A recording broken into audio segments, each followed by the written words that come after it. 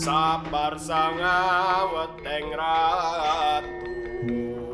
Kudu ikhlas lahir batin. Ojo nganti nam